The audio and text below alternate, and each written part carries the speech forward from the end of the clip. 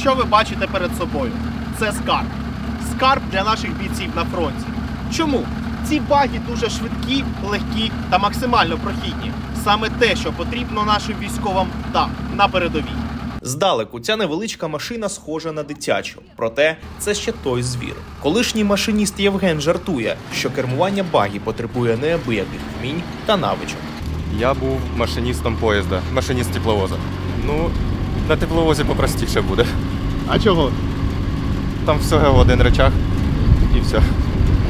І він їде або вперед, або назад. Попри жарти, Євген обіцяє екстерном навчити кермувати багі будь-якого бійця, навіть якщо в того не було водійського досвіду. 20 хвилин максимум. Треба просто мінімальні навички їзди на машині на легковій. Звичайна коробка передач, 5 передач, і все включається повністю як на легковій машині. Сцеплення, три педалі, ну все як положено. Баги значно підвищують мобільність підрозділу. Такі машини потрібні для евакуації поранених та підвозу ПК до позицій.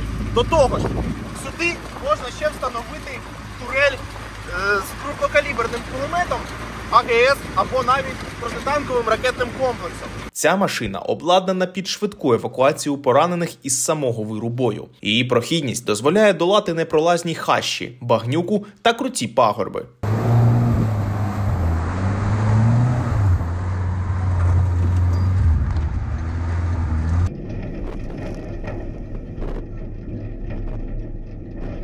Зробити таке авто, пояснює Євген, досить просто. Вони розбирають автомобіль донор, кузов та клас машини неважливі, наварюють металеву раму.